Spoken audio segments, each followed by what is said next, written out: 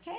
Uh, Mr. White, we're going to do the Cupid Shuffle to show you what it looks like. First, we're going to show you just by watching it first, watching the kids, and then I'll turn on the music so that they can show you how the music fits in with the steps. So first, we're going to take four steps to the right. Ready? And one, two, three, four, left. One, two, three, four, kick. One, two, three, four, boogie down. One, two, and then turn to the window wall. Very good. All right, now I'm going to turn on the music. Turn back towards me.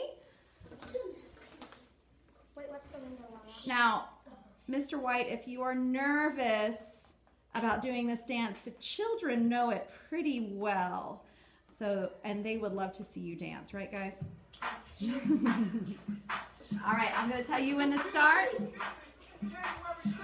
I can't dance because I'm standing on a chair, so we're just to watch you. Ready?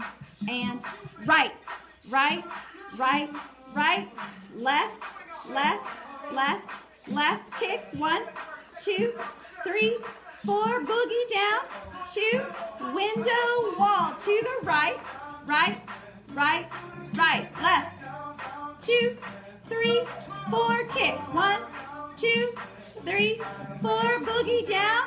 Go to the front of the room to the right. Right, right, right, left. One, two, three, four, kick. One, two, three, four, boogie down to the shelf wall. One more time. Right, two, three, four. Left, one, two, three, four, kick. One, two, three, four, boogie down and then back to face me. Very good.